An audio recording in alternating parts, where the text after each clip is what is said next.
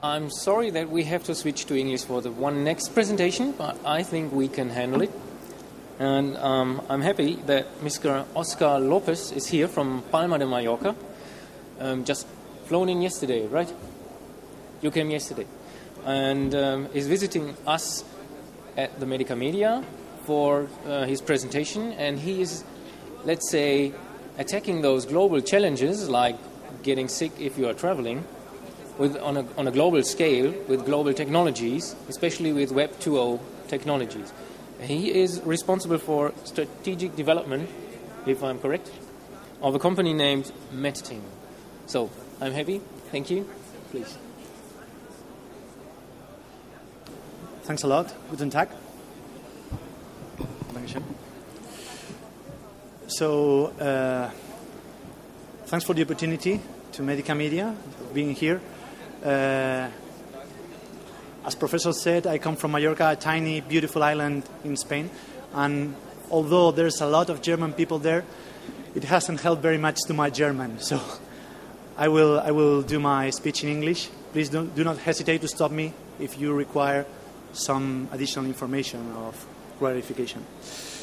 So I've got to talk about using Web 2.0 and social networking to share medical knowledge. Maybe it will seem a bit separate of the previous uh, speeches, but you will see rapidly that uh, we join our concepts here. Let me see.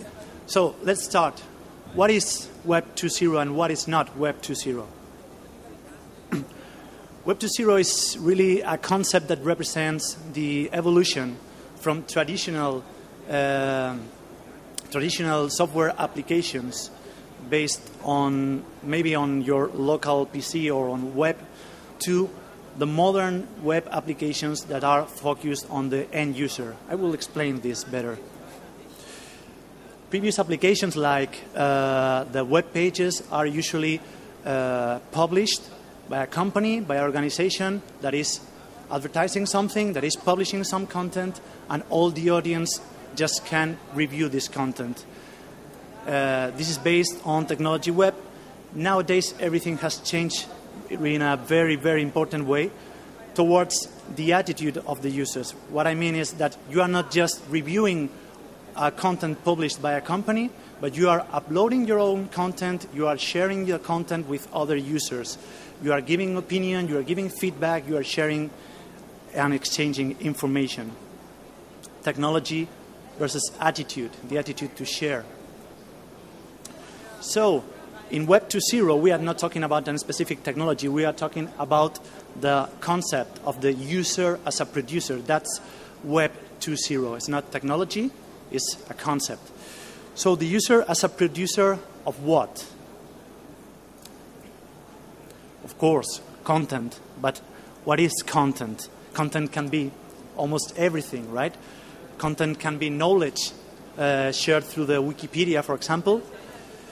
Can be also my own reflections, my own thoughts and ideas post in, in a WordPress blog, in a, in a Blogspot blog, uh, blog. Can be my pictures, like Flickr. Can be my videos, like I post in YouTube. This would be general content. But we are going farther beyond that nowadays. We are also promoting contacts, personal contacts, professional contacts, like we do in Facebook, like we do in LinkedIn, like we do in MySpace. I'm promoting my own band, etc., etc. What else can we share through the Web, web 2.0? We can share taste, taste and emotion. You can be listening to the music that I suggest if we are friends your music in your own uh, channel can be influenced by my own decisions and the decisions of your friends, right? Also, the bookmarks that you are using to, to surf through the internet can be influenced and can be suggested by your friends or by your social community. And we can also share reputation and feedback. For example, Trip, TripAdvisor, I can recommend you what to do or which places to visit. I can recommend you what to buy or not to buy, etc. And lately, and this is something that has surprised me a lot, I can share my status, Twitter. I can say, what I'm thinking, what I'm doing, and everyone can know th- can knows can know this. So there's a lot of potential here, of course, in terms of sharing knowledge. Uh, well, this, this picture is it's a fake, but it's illustrating a bit the concept that I'm trying to, to, to present here. That people, we are social, and we are using all these technologies, all these applications, and all these capabilities of modern technology to share, to share, and to become more social, right? So, Web 2.0 is user centered, not technology centered. Is utility center, not functionality. What I mean? I mean that some of really, really uh, successful technologies over the Web 2.0, like MySpace, are really poor in terms of functionality, but has become very, very popular because they are, they are approaching a very specific need. When you want to share one specific knowledge in one specific field, you will use one specific tool and it will become really popular in a short period of time. So data, data nowadays without distribution and without sharing worth nothing. So the data that I've got in my own, in my own PC but I cannot share with others worth nothing.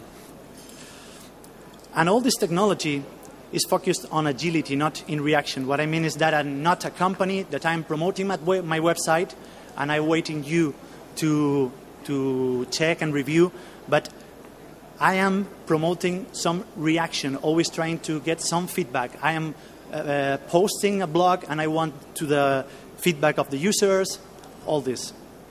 Of course, this means that we are always under improvement. We are always learning, we are always developing new applications, we are always getting new feedback from other users. So Web 2.0, we can say that it's always in beta version, right? So the engine of all this is not the customer anymore, it's not the buyer, it's not the business, it's just the user satisfaction. If you can upload feed, uh, sorry, content that is useful to anyone, then it will become popular. If you are just promoting one business, maybe you will not, right?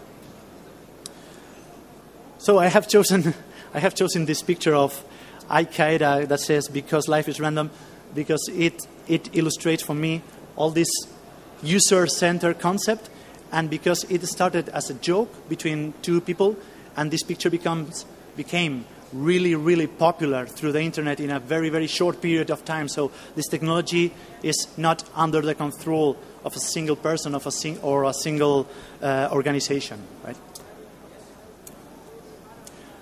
Who is using Web.0? First, the content providers, someone that is uploading some content, right? I am uploading one video to YouTube, for example. Then we got the feedback providers, all the people that is reviewing my content and is giving an opinion or a comment or rating it. Then we got people that, that likes this content and are using to exchange with other people or, or adding some additional knowledge to this content and sharing again. So they are becoming both users and, uh, I mean, users and providers of, the, of this Web.0 content. And finally, all the internet users that are just reviewing the content with no further interaction with it.